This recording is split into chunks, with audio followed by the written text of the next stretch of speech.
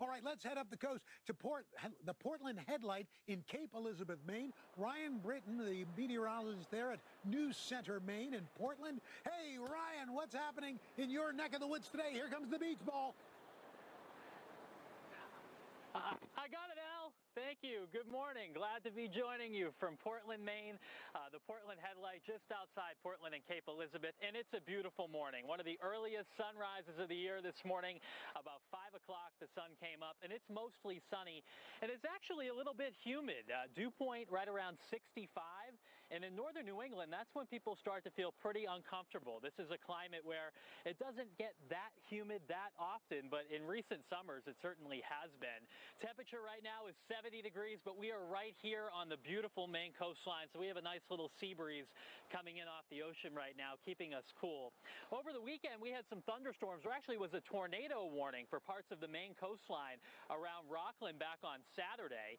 Uh, yesterday, a little bit of a break, but today we have another threat for showers and thunderstorms this afternoon. There's a front coming in from the west, and the chance this afternoon will be highest in western Maine, the mountains over into New Hampshire for some showers and thunderstorms this afternoon. There's actually a slight risk for severe weather in our mountains. Closer to the coastline, this southerly breeze will do two things. It'll keep us a little bit cooler today.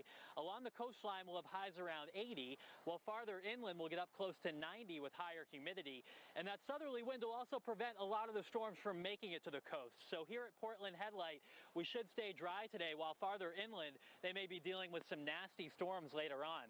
Al, you've been talking about Claudette, Tropical Storm Claudette. That's going to be moving to our south out over the Atlantic. It will throw some waves our way the next few days, so some higher rip currents will be an issue at the beaches.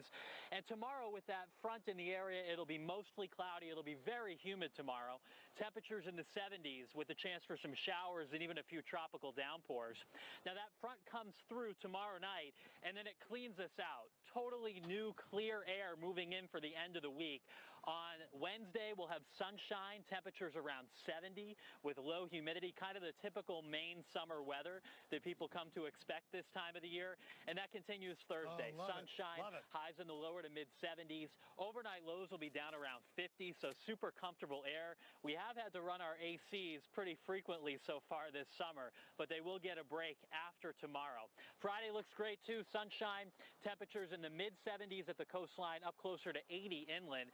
As we get into the weekend, we'll have to watch for the chance for some showers, but definitely not a guarantee at this point in time. As for our summer forecast, temperatures have been above average so far this summer. They're expected to remain above average through the summer.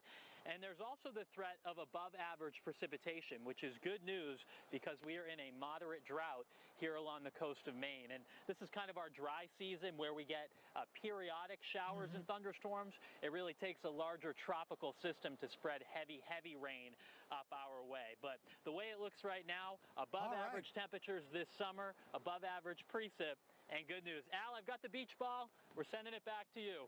All right. I'm ready for it. Toss it, baby. Got it. All right, Ryan, thank you so much.